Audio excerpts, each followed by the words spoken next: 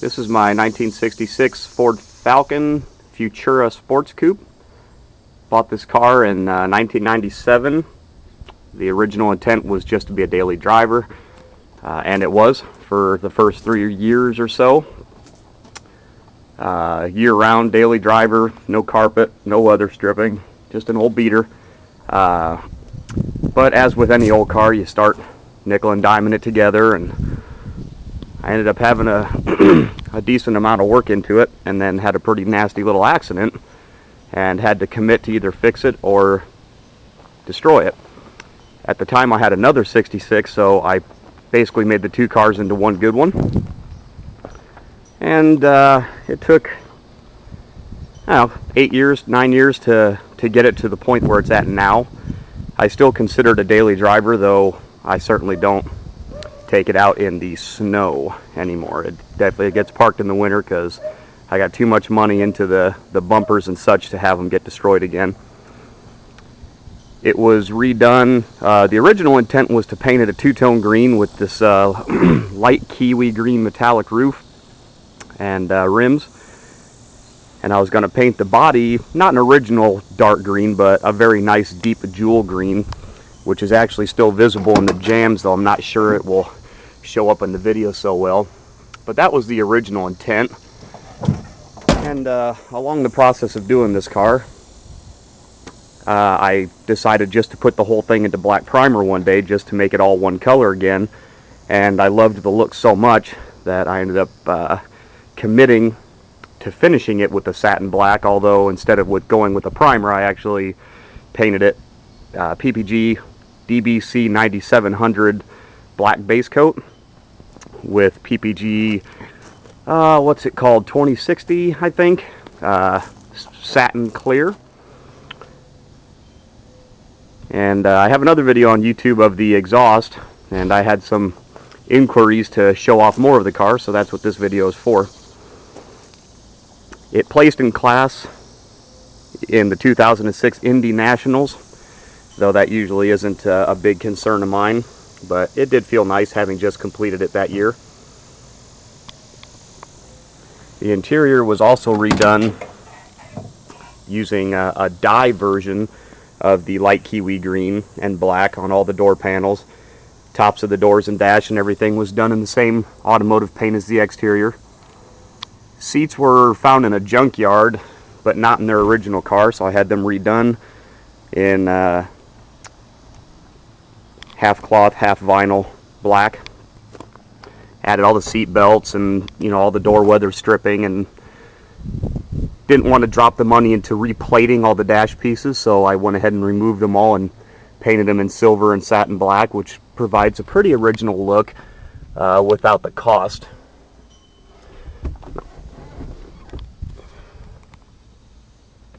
All the door handles and window cranks were replaced they're starting to actually repop a lot of this uh, 66 stuff, which for a long time they did not.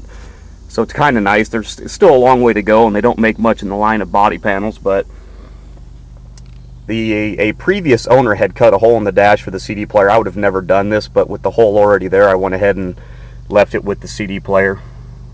Installed a different one, but you know, installed some of these things like seatbelt warning lights and stuff that are the they're not hooked up, but the uh, the flasher, uh, which I relocated from the glove box to under the dash here, uh, that does work.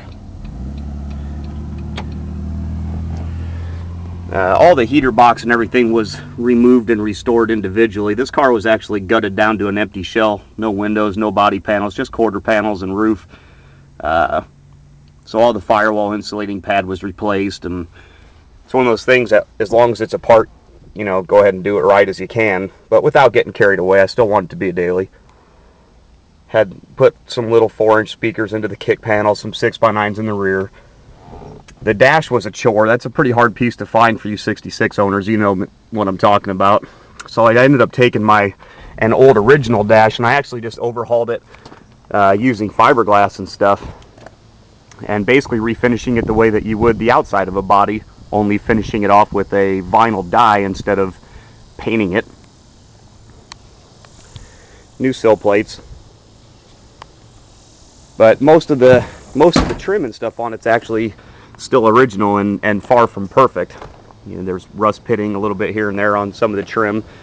Rear window still doesn't have any trim on it as I intend to remove the rear window and replace the headliner again. When I first did the headliner, I did it in this, uh, they call it moonscape or something like that, but now that the whole interior is done in black and green, I'd like to replace that with black. So I'm not putting the rear window trim on it because rear windows have to come out on these to put the headliner in. I, uh, I downgraded it, although I consider it an upgrade, from the Sport Coupe deck lid, which has the long, narrow piece of trim all the way across the center, to a Club Coupe deck lid, which just has the Falcon lettering, which I just think is a lot cleaner. And, uh, you know, I'm proud of the fact that it's a Falcon. and the, the Sport Coupe trim doesn't say that. It just says uh, Futura.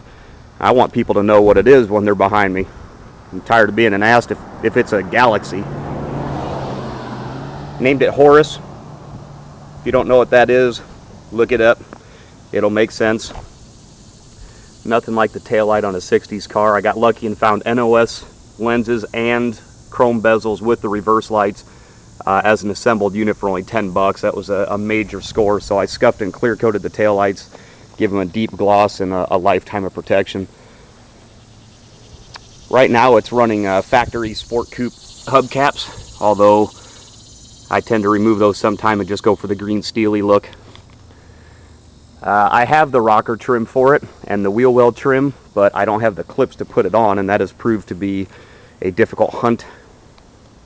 One day I'd like to put those back on.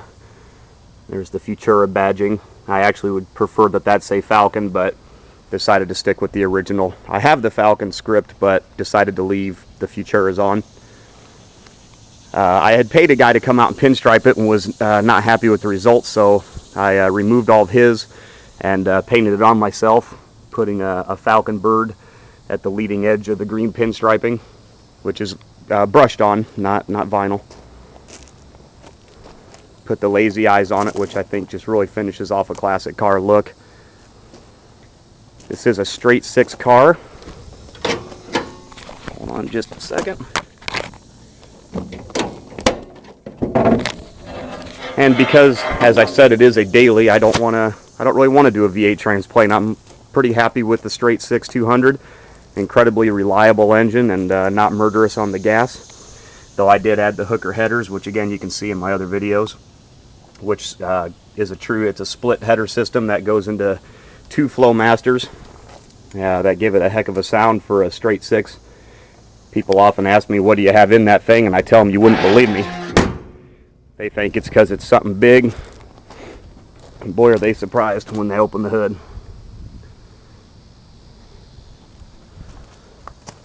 The trunk's finished off pretty decent too, but it's full of crap, so I'm not going to open that up right now. But I redid the filler neck and all that stuff as well. And as long as we're making the video, I'll